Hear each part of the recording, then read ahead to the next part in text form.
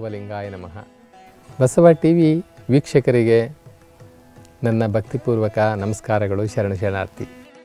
ಬಂಧುಗಳೇ, ಬಸವ ಧರ್ಮ ಇದು ಕುಟುಂಬಸ್ಥರ ಧರ್ಮ, ಇದು ಶರಣ ದಂಪತಿಗಳ ಧರ್ಮ, ಶರಣರ ಏಕೈಕ ಕುಟುಂಬಸ್ಥರ ಧರ್ಮ ಅಂದರೆ ಅದು ಬಸವ ಧರ್ಮ, ಲೋಕಮಾನ್ಯ, ವಿಶ್ವಮಾನ್ಯ ಧರ್ಮ. ಬಸವಣ್ಣನವರು ಅನೇಕ ಶರಣ ದಂಪತಿಗಳಿಗೆ ಆಶ್ರಯವನ್ನು ಕೊಟ್ಟು ಅವರಿಗೆಲ್ಲ ದೀಕ್ಷೆಯನ್ನು ಕೊಟ್ಟು ಮೋಕ್ಷ ಮಾರ್ಗಕ್ಕೆ ತೆಗೆದುಕೊಂಡು ಹೋಗಿ ಅವರನ್ನೆಲ್ಲ ಸದ್ಗತಿಯನ್ನುಂಟು ಮಾಡಿದ್ದಾರೆ ಬಸವಣ್ಣನವರು. ಅನುಭವ ಮಂಟಪದಲ್ಲಿ ಇದ್ದಂಥವರೆಲ್ಲರೂ ಸಹ ಶರಣ ದಂಪತಿಗಳೇ. ಅನೇಕ ಶರಣರು ಅವರ ಬದುಕನ್ನು ಬಸವಣ್ಣನವರ ಹತ್ತಿರ ಕಂಡ್ಕೊಂಡಿದ್ದಾರೆ. ಇಲ್ಲ ಅಂದಿದ್ದರೆ ಅವರೆಲ್ಲ ಎಲ್ಲೆಲ್ಲಿ ಹೋಗಿ ಏನೇನು ಆಗಿಬಿಡ್ತಾ ಇದ್ರು? ಅವರ ಬದುಕನ್ನು ಎಲ್ಲಿ ಅಸಹ್ಯವಾಗಿ ಲೆಕ್ಕಕ್ಕೆ ಬಾರದ ಹಾಗೆ ಎಲ್ಲಿ ಕಳ್ಕೊಂಡು ಬಿಡ್ತಾಯಿದ್ರು ಅಂಥ ಶರಣರೆಲ್ಲರೂ ಸಹ ಸಾರ್ಥಕತೆಯನ್ನು ಕಂಡುಕೊಂಡಿದ್ದಾರೆ ಬಸವಣ್ಣನವರಲ್ಲಿ. ಇಲ್ಲಿ ಹಡಪದ ಅಪ್ಪಣ್ಣನವರು ಮತ್ತು ಲಿಂಗಮ್ಮ ತಾಯಿಯಂತಹ ಶರಣ ದಂಪತಿಗಳನ್ನು ನಾವು ಅಲ್ಲಿ ಗಮನಿಸ್ತೀವಿ ಅವರೆಂತಹ ಸಾತ್ವಿಕರು, ಯಾವ ರೀತಿ ಅವರು ಸಾಧನೆಯನ್ನು, ಆಧ್ಯಾತ್ಮಿಕ ಸಾಧನೆಯನ್ನು ಮಾಡಿದ್ರು. ಅವರಿಗೆ ಸಂಸಾರ ಯಾವತ್ತೂ ಕೂಡ ಅಡ್ಡ ಬರಲಿಲ್ಲ. ನೋಡಿ, ನಾವು ಒಂದೊಂದು ಸಂಸಾರವನ್ನು ಕಟ್ಕೊಂಡೇ ಅಯ್ಯೋ, ನಮಗೆ ಇದರಿಂದ ಆಚೆ ಬರಲಿಕ್ಕೆ ಆಗೋದಿಲ್ಲ ಅನ್ನುವಂತಹ ಭಯದಲ್ಲಿ, ಭೀತಿಯಲ್ಲಿ, ಭ್ರಾಂತಿಯಲ್ಲಿ ನಾವು ಬದುಕ್ತಾ ಇದ್ದೀವಿ. ಈ ಭ್ರಾಂತಿ ನಮ್ಮನ್ನು ಆಧ್ಯಾತ್ಮದ ಕಡೆ ಬಿಡ್ತಾನೇ ಇಲ್ಲ. ಬಸವಣ್ಣನವರು ಇಬ್ಬರು ಪತ್ನಿಯರನ್ನು ಕಟ್ಟಿಕೊಂಡರೂ ಸಹ ಆಧ್ಯಾತ್ಮಿಕ ಸಾಧನೆಯಲ್ಲಿ ಆದರು. ನಾವು ಜಗತ್ತಿನಲ್ಲಿ ನೋಡ್ತಾ ಇದ್ದೀವಿ, ಸಾಧಕರು ಎಲ್ಲರೂ ಕೂಡ ಸಂಸಾರಸ್ಥರೇ ಆಗಿದ್ದಾರೆ. ಯಾರೋ ಒಬ್ಬೊಬ್ಬರು ಅಲ್ಲೊಬ್ರು ಒಬ್ಬರು ಸನ್ಯಾಸಿಗಳು ಇರ್ಬೋದಷ್ಟೇ, ಆದರೆ ಪ್ರಪಂಚದ ಪೂರ್ತಿ ಭಾಗವನ್ನು ನಾವು ತೆಗೆದುಕೊಂಡಾಗ ನಾವು ಅತಿ ಸಾಧಕರಲ್ಲಿ ಆಧ್ಯಾತ್ಮಿಕ ಸಾಧನೆ ಮಾಡಿರೋದ್ರಲ್ಲಿ ಎಲ್ಲರೂ ಕೂಡ ಕುಟುಂಬಸ್ಥರೇ ಆಗಿದ್ದಾರೆ.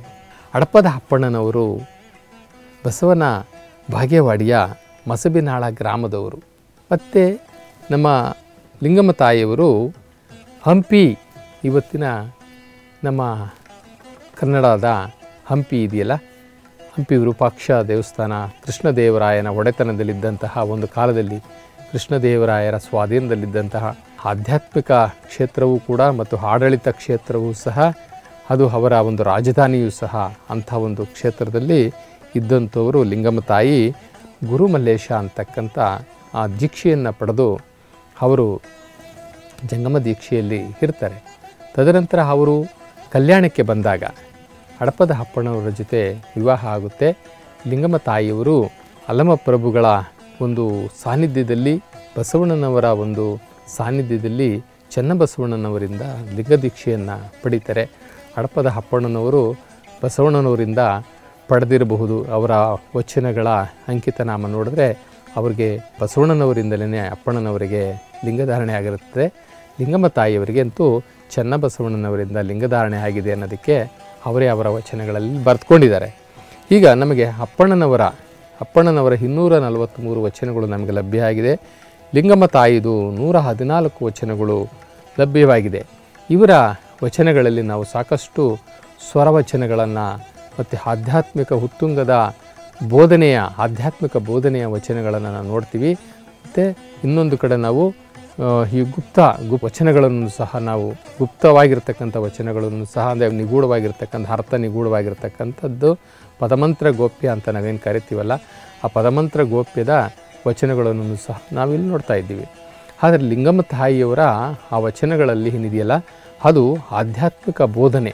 ಆಧ್ಯಾತ್ಮಿಕ ಬೋಧನೆಯ ಅವರ ಒಂದು ಅನುಭವದ, ಅವರು ಏನು ಶಿವೈಕ್ಯ ಆಗುವಂತಹ ಸಂದರ್ಭ, ಲಿಂಗೈಕ್ಯ ಆಗುವಂಥ ಸಂದರ್ಭ, ಲಿಂಗೈಕ್ಯ ಅಂತಂದರೆ ಸತ್ತೋಗೋದು ಅಂತಲ್ಲ, ಅವರು ಶಿವಯೋಗದಲ್ಲೇ ಕುಳಿತುಕೊಂಡು ಶಿವಯೋಗದಲ್ಲೇ ಲಿಂಗೈಕ್ಯರಾಗ್ತಾ ಇದ್ರಲ್ಲ, ಅದಕ್ಕೆ ಐಕ್ಯ ಐಕ್ಯಸ್ಥಿತಿ, ಐಕ್ಯಸ್ಥಾನ ಅಂತಕ್ಕಂಥದ್ದು ನಮ್ಮ ಶಟಸ್ಥಳಗಳಲ್ಲಿ ಐಕ್ಯಸ್ಥಾನ ಬರ ಒಂದು ಮುಕ್ತಿಯ ಸ್ಥಾನಕ್ಕೆ ಹೋಗಿ ಅವರು ಸಾಧನೆ ಮಾಡ್ತಕ್ಕಂಥದ್ದನ್ನೆಲ್ಲವೂ ಕೂಡ ಅವ್ರ ವಚನಗಳಲ್ಲಿ ಬರೆದಿದ್ದಾರೆ. ಆ ತಾಯಿಯವರು, ಲಿಂಗಮ್ಮ ತಾಯಿಯವರನ್ನು ನಿಜ ಮುಕ್ತ ಶರಣೆ ನಿಜ ಮುಕ್ತೆ ನಿಜ ಮುಕ್ತಿ ಶರಣೆ ಅಂತ ಹೇಳಿಬಿಟ್ಟು ಅವರು ನಿತ್ಯವೂ ಕೂಡ ಅವರು ಮುಕ್ತತ್ವವನ್ನು ಪಡಿತಾ ಇದ್ದರು ಲಿಂಗ ಸಾಧನೆಯಲ್ಲಿ. ಮತ್ತು ಹಳಪದ ಅಪ್ಪಣ್ಣನವರ, ಅಪ್ಪಣ್ಣನವರನ್ನು ನಿಜ ಸುಖಿ ಶರಣ ನಿಜ ಸುಖಿ ಶರಣ ಅಂತ ಹೇಳಿಬಿಟ್ಟು ಕರಿತಾ ಇದ್ದರು ಇವರು ದಾಂಪತ್ಯದಲ್ಲಿ ಇದ್ದುಕೊಂಡು ಅದೆಲ್ಲ ಹೊಗಳಿಸ್ಕೊಳ್ತಾ ಇದ್ದರು ಅಲ್ಲಿ ಆ ಒಂದು ಅನುಭವ ಮಂಟಪದಲ್ಲಿ ಇವರನ್ನು ಹೊಗಳ್ತಾ ಇದ್ದರು ಇವು ತಮಗೆಲ್ಲ ಗೊತ್ತಿದೆ. ಹಡಪದ ಅಪ್ಪಣ್ಣನವರು, ಬಸವಣ್ಣನವರ ಆಪ್ತ ಕಾರ್ಯದರ್ಶಿ. ಆಪ್ತ ಕಾರ್ಯದರ್ಶಿ ಆಗಬೇಕಾದ್ರೆ ಎಷ್ಟು ಕಷ್ಟ ಇದೆ ನೋಡಿರಿ. ಬಸವಣ್ಣನವ್ರ ಹತ್ರ ಅವರು ಕಾರ್ಯದರ್ಶಿ ಕೆಲಸ ಮಾಡಬೇಕು ಅಂದರೆ ಅವರ ವಿದ್ವತ್ ಹೇಗಿತ್ತು, ಅವರ ನಡವಳಿಕೆ ಹೇಗಿತ್ತು, ಅವ್ರ ಗುಣ ಹೇಗಿತ್ತು, ಅವ್ರ ಸ್ವಭಾವ ಹೇಗಿತ್ತು ಅವರ ತಿಳುವಳಿಕೆ, ಅವರ ಆಡಳಿತದ ವ್ಯವಸ್ಥೆಗಳು ಹೇಗಿತ್ತು ಅನ್ನುವಂಥದ್ದು ನಾವು ಇವತ್ತು ಅರ್ಥ ಮಾಡ್ಕೊಳ್ಳಿಕ್ಕೆ ಸಾಧ್ಯ ಇಲ್ಲ. ಒಬ್ಬ ಪ್ರಧಾನಮಂತ್ರಿ ಬಸವಣ್ಣನವರೇನು ಕಡಿಮೆ ಅಲ್ಲ. ಬಸವಣ್ಣನವರು ಒಂದು ಪ್ರಧಾನಮಂತ್ರಿ ಆಗಿದ್ದರು ಪ್ರಧಾನಮಂತ್ರಿ ಆಗಿದ್ದವರಿಗೆ ಇವರೊಂದು ಕಾರ್ಯದರ್ಶಿಯಾಗಿ ಆಧ್ಯಾತ್ಮಿಕ ಕ್ಷೇತ್ರದಲ್ಲಿ ಸಹಾಯಕ್ಕೆ ನಿಂತಿದ್ದರು ಅಂತಂದಾಗ ಇವರ ಸಾಧನೆಗಳನ್ನು ಸಹ ನಾವು ನೋಡಬೇಕಾಗುತ್ತೆ. ಹಡಪದ ಅಪ್ಪಣ್ಣನವರ ಒಂದು ಸಾಧನೆಗಳನ್ನು ನಾವು ಬಹಳ ಗಂಭೀರವಾಗಿ ಪರಿಗಣಿಸಬೇಕಾಗುತ್ತೆ. ಇಲ್ಲಿ ಹಡಪದ ಅಪ್ಪಣ್ಣನ ಪುಣ್ಯಸ್ತ್ರೀ ಲಿಂಗಮ್ಮ ತಾಯಿ ಕೆಲವು ವಚನಗಳಲ್ಲಿ ಹೇಳ್ಕೊಂಡು ಹೋಗ್ತಾರೆ. ಅವ್ರದ್ದು ಒಂದು ವಚನ ಎಷ್ಟು ಚೆನ್ನಾಗಿದೆ ಅಂತಂದರೆ, ಅವರ ಸಾಧನೆ, ನಾನು ಎಲ್ಲಿಂದ ಬಂದೆ, ನಾನು ಹಂತಂತವಾಗಿ ಹಂತಂತವಾಗಿ ಹೇಗೆ ನಾನು ಸಾಧನೆಯ ಸ್ಥಿತಿಗತಿಗಳು ಹೇಗಿತ್ತು ಹಂತ ಹಂತವಾಗಿ ಅಂತಕ್ಕಂಥದ್ದನ್ನು ಅವರು ಒಂದು ವಚನದಲ್ಲಿ ಬಹಳ ಸುಂದರವಾಗಿ, ಬಹಳ ಗೌಪ್ಯವಾಗಿ ತಾಯಿ ಲಿಂಗಮ್ಮ ತಾಯಿಯವರು ಹೇಳ್ತಾರೆ. ಕನಿಷ್ಠದಲ್ಲಿ ಹುಟ್ಟಿದೆ, ಉತ್ತಮದಲ್ಲಿ ಬೆಳೆದೆ. ಸತ್ಯ ಶರಣರ ಪಾದವಿಡಿದೆ. ಆ ಶರಣರ ಪಾದವಿಡಿದು ಗುರುವ ಕಂಡೆ, ಲಿಂಗವ ಕಂಡೆ, ಜಂಗಮವ ಕಂಡೆ, ಪಾದೋದಕವ ಕಂಡೆ, ಪ್ರಸಾದವ ಕಂಡೆ. ಇಂತಿವನ್ನೆಲ್ಲ ಕಂಡು ಮುಂದಣ ಕಂಗಳ ಮುಂದಣ ಕತ್ತಲೆ ಹರಿದಿತ್ತು. ಕಂಗಳ ಮುಂದಣ ಕತ್ತಲೆ ಹರಿಯಲೊಡನೆ ಮಂಗಳದ ಮಹಾ ಬೆಳಗಿನೊಳಗೆ ಓಲಾಡಿ, ಸುಖಿಯಾದೆನಯ್ಯ ಅಪ್ಪಣ್ಣ ಪ್ರಿಯ ಚೆನ್ನಬಸವಣ್ಣ. ಅವರು ನಾನು ಸಡನ್ನಾಗಿ ನಾನು ಬಂದು ಇಲ್ಲಿ ಕಲ್ಯಾಣಕ್ಕೆ ಬಂದುಬಿಟ್ಟು ನಾನು ದೊಡ್ಡ ವಿದ್ವಾಂಸಳಾಗಿಬಿಟ್ಟೆ, ತತ್ವಜ್ಞಾನಿ ಆಗಿಬಿಟ್ಟೆ ಅಂತ ಅವ್ರು ಹೇಳ್ಕೊಳ್ಳಿಲ್ಲ.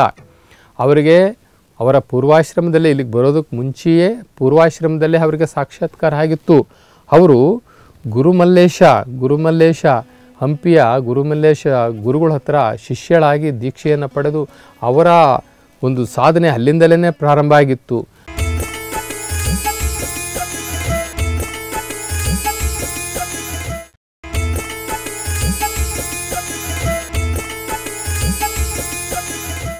ಅಲ್ಲಿಂದ ಪ್ರಾರಂಭ ಆಗಿದ್ರೂ ಸಹ ಅವರು ಒಂದು ಕಿಂಕರತ್ವವನ್ನು ಇಲ್ಲಿ ತೋರಿಸ್ತಾ ಇದ್ದಾರೆ.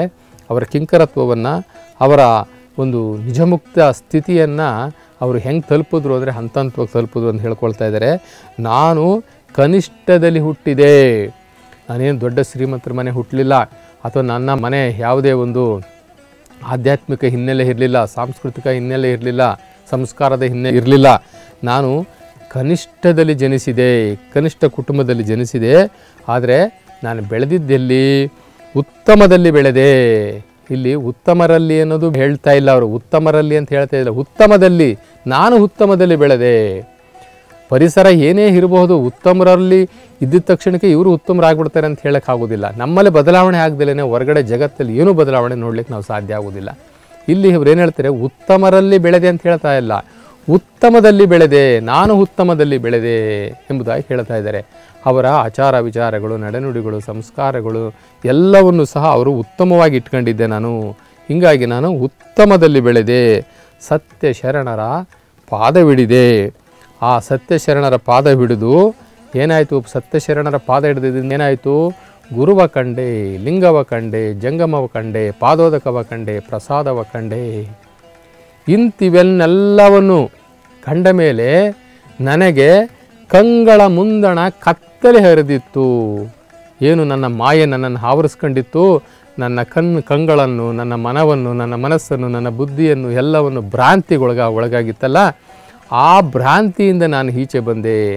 ನನಗೆ ಆ ಕಂಗಳ ಬೆಳಕು ಕಾಣಿಸಿತು, ಆ ಪೊರೆ ಅಜ್ಞಾನವಂತು ಅಂತಹ ಆ ಪೊರೆ ನನಗೇನು ತುಂಬಿಕೊಂಡಿತ್ತು, ಆ ಕತ್ತಲೆ ನನಗೇನು ತುಂಬಿಕೊಂಡಿತ್ತು, ಅದರಿಂದ ದೂರ ಆಗಿ ಒಳಗಡೆಯಿಂದಲೇ ನಾನು ಆ ಕತ್ತಲೆಯನ್ನು ದೂರ ಮಾಡಿ ಬೆಳಕನ್ನು ನನ್ನ ಕಣ್ಣಲ್ಲಿ ಬೆಳಕನ್ನು ಕಂಡೆ. ನನ್ನ ಕಂಗಳ ಬೆಳಕು ಕಂಡ ತಕ್ಷಣ, ಆ ಮಾಯೆಯೆಲ್ಲ ಮಾಯವಾದ ತಕ್ಷಣ ನನಗೇನಾಯಿತು ಅಂತಂದರೆ, ಮಂಗಳದ ಮಹಾ ಬೆಳಕಿನೊಳಗಡೆ ಓಲಾಡಿ ಸುಖಿಯಾದನಯ್ಯ.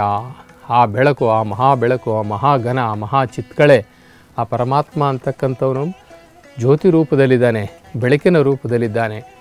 ಅಂತಹ ಬೆಳಕನ್ನು, ಅಂತಹ ಜ್ಯೋತಿಯನ್ನು ನಾನು ಸಾಕ್ಷಾತ್ಕಾರ ಮಾಡಿಕೊಂಡು ಅಂಥ ಜ್ಯೋತಿಯಲ್ಲಿ ನಾನು, ಆ ಮಹಾ ಬೆಳಗಿನಲ್ಲಿ ನಾನು ಓಲಾಡಿದೆ, ನಾನು ಸುಖಿಸಿದೆ ಯಾಕೆ ಅಂತಂದರೆ ಈ ಜೀವಾತ್ಮನು ಕೂಡ ಬೆಳಕು, ಆ ಪರಮಾತ್ಮನು ಬೆಳಕು.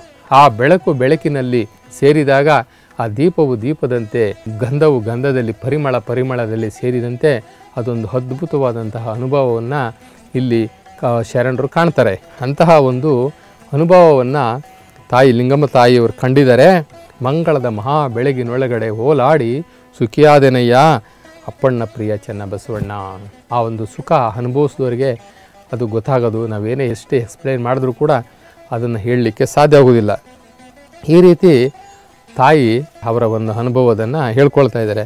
ಇನ್ನೊಂದು ಕಡೆ ಅಪ್ಪಣ್ಣನವರೇನು ಕಡಿಮೆ ಸಾಧನೆನ ಗಂಡ ಹೆಂಡತಿ ಇಬ್ಬರೂ ಹೇಳು ಮಾಡಿಸಿದ ಜೋಡಿ, ಹೇಳಿ ಮಾಡಿಸಿದ ಜೋಡಿ, ಸತಿಪತಿಗಳೊಂದಾದ ಭಕ್ತಿ ಹಿತವಾಗಿತ್ತು ಶಿವಂಗಿ ಅನ್ನೋ ರೀತಿಯಲ್ಲಿ ಇವರಿಬ್ಬರು ಭಕ್ತಿಯಲ್ಲಿ ಪೈಪೋಟಿ, ವಚನಗಳ ಬರೆಯೋದರಲ್ಲಿ ಪೈಪೋಟಿ, ಆಧ್ಯಾತ್ಮಿಕ ಚಿಂತನೆಯಲ್ಲಿ ಪೈಪೋಟಿ, ಇಂಥ ಶರಣರಿರಬೇಕು, ಇಂಥ ಸಾಧಕರಿರಬೇಕು, ಇಂಥ ಸಂಸಾರಿಗಳು ಇವತ್ತು ನಮ್ಮ ಧರ್ಮಕ್ಕೆ ಇವತ್ತಿನ ಪ್ರಸ್ತುತ ಕಾಲಮಾನಕ್ಕೆ ಇಂಥ ದಂಪತಿಗಳ ಕೊರತೆ ಇದೆ.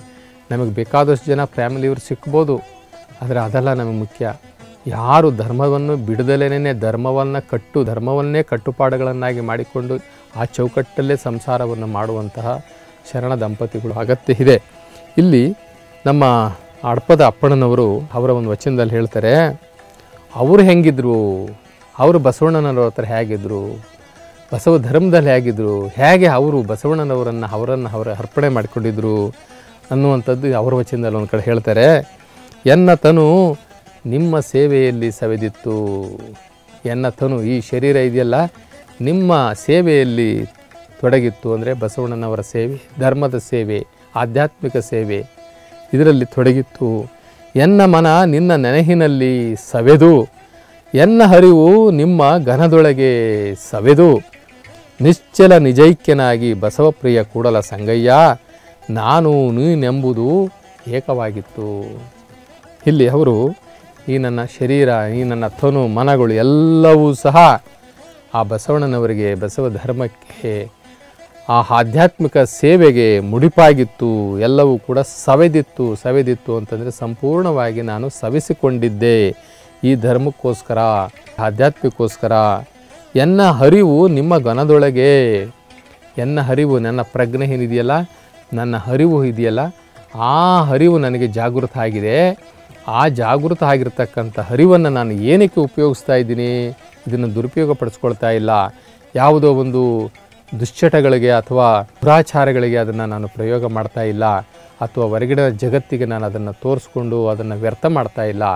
ಆ ಒಂದು ಹರಿವನ್ನೂ ಸಹ ನಾನು ಆ ಘನಕ್ಕೆ ಸವಿಸ್ತಾ ಇದ್ದೀನಿ. ಘನಕ್ಕೆ ಅಂತಂದರೆ ಪರಮಾತ್ಮನಿಗೆ ಘನ ಅಂತಂದಾಗ ಆ ಪರಮಾತ್ಮನಿಗೆ ನಾನು ಸವಿಸ್ತಾ ಇದ್ದೀನಿ. ನನ್ನ ಹರಿವು, ಆಚಾರ, ವಿಚಾರ ಎಲ್ಲವನ್ನೂ ಸಹ ನಾನು ಪರಮಾತ್ಮನಿಗೆ, ಬಸವಣ್ಣನವರಿಗೆ, ಧರ್ಮಕ್ಕೆ ನಾನು, ಆಧ್ಯಾತ್ಮಿಕ ಸೇವೆಗೆ ನಾನು ಮುಡುಪಾಗಿಟ್ಟಿದ್ದೀನಿ. ನಿಶ್ಚಲ ನಿಜೈಕ್ಯನಾಗಿ, ನಿಶ್ಚಲ, ನನಗೆ ನಿಶ್ಚಲ ಸ್ಥಿತಿ ಬಂದಿದೆ. ನಾನು ನಿಜೈಕ್ಯನಾಗಿದ್ದೇನೆ ಯಾವುದೆಲ್ಲ ಹೈಕ್ಯ ಆಗಿದ್ದೀನಿ ಪರಮಾತ್ಮನಲ್ಲಿ ಹೈಕ್ಯ ಆಗಿದ್ದೀನಿ ಯಾವಾಗ? ಸತ್ತಾಗಲ್ಲ, ಇದ್ದಾಗ. ನಾನು ಬದುಕಿದ್ದಾಗಲೇ ನಾನು ಪರಮಾತ್ಮನಲ್ಲಿ, ನಾನು ನಿಶ್ಚಲವಾಗಿದ್ದೇನೆ ನಿಜೈಕ್ಯನಾಗಿದ್ದೇನೆ ಬಸವಪ್ರಿಯ ಕೂಡಲ ಚೆನ್ನ ಸಂಗಯ್ಯ, ನಾನು, ನೀನು ಎನ್ನುವಂತಹ ಒಂದು ಭೇದವೇ ಇಲ್ಲದಾಗಿದೆ. ನಾನೇ ನೀನಾಗಿದ್ದೀನಿ ನೀನೇ ನಾನು ಆಗಿದ್ದೀನಿ ಅನ್ನುವಂತಹ ಅವರ ಒಂದು ಹಿಂಗಿತವನ್ನು ಈ ವಚನದಲ್ಲಿ ಹೇಳ್ತಾರೆ. ಇನ್ನೊಂದು ಕಡೆ ಬಸವಣ್ಣನವರಿಗೆ ಆಪ್ತ ಕಾರ್ಯದರ್ಶಿಯಾಗಿದ್ದಂತಹ ಅಪ್ಪಣ್ಣನವರು ಅವರ ಒಂದು ಜೀವಮಾನದಲ್ಲೇ ಒಂದು ಪ್ರಸಂಗ ಎದುರಾಗುತ್ತೆ. ಇದ್ದಕ್ಕಿದ್ದಾಗಲೇ ಒಂದು ಸಲ ಅಲ್ಲಮ ಪ್ರಭುಗಳು ಬಸವಣ್ಣನವರ ಮಹಾಮನೆಗೆ ಬಂದುಬಿಡ್ತಾರೆ. ಸಿದ್ದರಾಮೇಶ್ವರನ ಕರ್ಕೊಂಡು. ಸಿದ್ದರಾಮೇಶ್ವರು ಅಲ್ಲಮ್ಮ ಪ್ರಭುಗಳು ಇಬ್ಬರೂ ಕೂಡ ಪ್ರವೇಶ ಆಗಿಬಿಡ್ತದೆ ಮಹಾಮನೆಗೆ. ಆ ಸಮಯದಲ್ಲಿ ಬಸವಣ್ಣನವರು ಲಿಂಗಪೂಜೆಗೆ ಕೂತಿರ್ತಾರೆ. ಆ ಶಿವಯೋಗ ಕೂತಿರ್ತಾರೆ. ಅಲ್ಲಿರ್ತಕ್ಕಂಥವ್ರು ಬಂದು ಹೇಳ್ತಾರೆ ಯಾರೋ ಮಹಾತ್ಮರು ಬಂದಿದ್ದಾರೆ ಬಸವಣ್ಣರನ್ನ ನೋಡೋಕ್ಕೆ ಅಂತೇಳಿ. ಹಡಪದ ಅಪ್ಪಣ್ಣನವರು ಕಾರ್ಯದರ್ಶಿಯಾಗಿದ್ದರಿಂದ ಅಲ್ಲಿ ಹೋಗಿ ನೋಡ್ತಾರೆ, ಅವರು ಯಾರು ಬಂದಿದ್ದಾರೆ ಅಂತ ಅವ್ರು ಯಾರಿಗೂ ಅಲ್ಲಿರೋರಿಗೆ ಯಾರಿಗೂ ಅರ್ಥ ಆಗ್ತಾ ಇಲ್ಲ. ಇವ್ರಿಗೆ ಮಾತ್ರ ಅರ್ಥ ಆಗುತ್ತೆ ಹಡಪದ ಅಪ್ಪಣ್ಣವ್ರಿಗೆ. ಯಾಕೆ ಅಂತಂದರೆ ಅವರಂಥ ಸೂಕ್ಷ್ಮತಿಗಳು ಅವರಿಗೆ ಅಂಥ ಸೂಕ್ಷ್ಮ ಬುದ್ಧಿ ಇತ್ತು. ಎಲ್ಲರನ್ನು ಗ್ರಹಿಸುವಂತಹ ಎಲ್ಲರೂ ಯಾರು, ಏನು, ಹೇಗೆ, ಅವರ ಒಂದು ಎಲ್ಲ ಪರಿಚಯವನ್ನು ಸಹ ಅವರು ಗ್ರಹಿಸುವಂಥ ಮುಖಭಾವನೆ, ಛಾಯೆಯಿಂದಲೇ ಗ್ರಹಿಸುವಂತಹ ಒಂದು ಮಹತ್ವಾದಂಥ ಶಕ್ತಿ ಅಪ್ಪಣ್ಣನವರಿಗಿತ್ತು. ಅವರಂದರು, ಓಹೋ ಅಲ್ಲಮ ಪ್ರಭುಗಳು ಅಂತ ಹೇಳ್ತಾರಲ್ಲ ಮೋಸ್ಟ್ಲಿ ಇವರೇ ಇರ್ಬೋದು. ಇವರೇ ಇವರ ಭಾವನೆಗಳು, ಇವರ ಭಂಗಿ, ಇವರ ಮುಖಛಾಯೆ ಇವರ ತೇಜಸ್ಸು, ಇವರ ತೇಜೋಮುಖವಾಗಿರ್ತಕ್ಕಂಥ ಇವೆಲ್ಲವನ್ನು ನೋಡಿದಾಗ ಇವರೇ ಅಲಮಪ್ರಭುಗಳು ಅಂತ ಹೇಳಿಬಿಟ್ಟು ಊಹೆ ಮಾಡೇ ಬಿಡ್ತಾರೆ ಅವರು. ಊಹೆ ಮಾಡಿ ಆ ಪ್ರಸಂಗ ಭಾರಿ ಅದ್ಭುತವಾಗಿದೆ. ಅದನ್ನು ಹೇಳಬೇಕು ಅಂದರೆ ಒಂದು ಎರಡು ಮೂರು ಗಂಟೆನೇ ಬೇಕಾಗುತ್ತೆ. ಅವರು ಹೋಗಿ ಬಸವಣ್ಣನವರಿಗೆ ಹೇಳಲಿಕ್ಕೆ ಹೋಗ್ತಾರೆ. ಬಸವಣ್ಣನವರೇ ಮಹಾಮಹಿಮರು ಬಂದಿದ್ದಾರೆ. ಅಂಥ ತೇಜೋಮೂರ್ತಿ ತೇಜೋ ಪುಂಜ ಅಂತ ತಪಸ್ವಿಗಳು ಬಂದುಬಿಟ್ಟಿದ್ದಾರೆ. ನಮ್ಮ ಇದಕ್ಕೆ ನೀವು ಬನ್ನಿರಿ ಅವ್ರನ್ನ ಕರ್ಕೊಂಬರೋಣ ಬನ್ನಿರಿ ನಮ್ಮ ಮಹಾಮನೆಗೆ ಬಂದುಬಿಟ್ಟಿದ್ದಾರೆ ಅಂತ ಅಂದಾಗ, ಅಲ್ಲ, ಅವಾಗ ಬಸವಣ್ಣನವ್ರು ಹೇಳ್ತಾರೆ, ನಾನು ಬೇರೆ ಏನಪ್ಪ, ನೀನು ಬೇರೆನಾ? ನೀನೇ ಹೋಗಿ ಕರ್ಕೊಂಡು ಬಾ. ಮಹಾಮನೆಗೆ ಏನು ಯಾರು ಕರಿಬೇಕಾ? ಎಲ್ಲವ ಅವ್ರದ್ದೇ ಆಗಿದೆ, ಬರೋರದೇ ಮನೆ ಆಗಿದೆ ಇದು. ನನ್ನದೇನಲ್ಲ ಇದು. ಬರೋರದೇ ಮನೆ. ಯಾರು ಬರ್ತಾರೋ ಅವ್ರದ್ದೇ ಮನೆ ಇದು ಮಹಾಮನೆ. ಹೀಗಾಗಿ ನೀನೇ ಹೋಗಿ ಅವ್ರನ್ನ ಕರ್ಕೊಂಡು ಬಾ ಅಂತ ಅಂದಾಗ ಇವರು ಹೋಗಿ ಅವ್ರು ಕರೀಲಿಕ್ಕೆ ಹೋಗ್ತಾರೆ. ಕರೀಲಿಕ್ಕೆ ಹೋದಾಗ ಅವ್ರು ಹೇಳ್ತಾರೆ, ಬಸವಣ್ಣನವ್ರನ್ನು ಕೂಡ ಛೇಡಿಸೇ ಮಾತಾಡ್ತಾರೆ. ಬಂದಂಥವ್ರಿಗೆ ಅವರು ಬಂದು ಕರೀಲಿಕ್ಕೆ ವ್ಯವಧಾನ ಇಲ್ಲ. ಅಂಥವ್ರು ನಾನು ಬರಲ್ಲ ಅವ್ರನ್ನೇ ಕರಿ ಹೋಗು ಅಂತ ಹೇಳ್ತಾರೆ. ಆವಾಗ ಇವರಿಗೆ ಒಂದು ದೊಡ್ಡ ಸಂದಿಗ್ಧ ಪರಿಸ್ಥಿತಿನಲ್ಲಿ ಬಂದಾಗ ಅದನ್ನು ಹೇಗೆ ನಿಭಾಯಿಸ್ತಾರೆ ಅಂತಂದರೆ, ಕೊನೆಗೆ ಬಸವಣ್ಣವ್ರ ಹತ್ರ ಬಂದು ಬಸವಣ್ಣನವರನ್ನು ಅವರಿಗೆ ರೀತಿ ಎಚ್ಚರಿಸಿ ಇವರನ್ನು ಕರ್ಕೊಂಡೋಗಿ ಅವರನ್ನು ಕರ್ಕೊಂಡು ಬರುವಂತಹ ಕೆಲಸವನ್ನು ಬಹಳ ಜಾಗರೂಕವಾಗಿ ಒಬ್ಬ ಅಸಿಸ್ಟೆಂಟ್ ಆಗಿ, ಒಬ್ಬ ಪ್ರೈವೇಟ್ ಸೆಕ್ರೆಟರಿಯಾಗಿ ಒಬ್ಬ ನಾಯಕನನ್ನು, ಒಬ್ಬ ಧರ್ಮ ಪಾಲಕರನ್ನು ಹೇಗೆ ಅವರು ಮರ್ಯಾದೆ ಉಳಿಸಬೇಕು, ಮತ್ತು ಬಂದಂಥವ್ರದ್ದು ಮರ್ಯಾದೆ ಉಳಿಸಬೇಕು ಅನ್ನುವಂಥ ಈ ಬ್ಯಾಲೆನ್ಸ್ ಮಾಡೋದು ಇದೆಯಲ್ಲ? ಇವತ್ತಿನ ನಮ್ಮ ಕಾರ್ಯದರ್ಶಿಗಳು, ನಮ್ಮ ಆ ರಾಜಕಾರಣಿಗಳಿಗಿರ್ತಕ್ಕಂಥ ಅಸಿಸ್ಟೆಂಟ್ಸು ಇವೆಲ್ಲರೂ ಕೂಡ ಅದನ್ನು ನೋಡಿ ಕಲ್ತ್ಕೊಳ್ಬೇಕಾಗಿದೆ.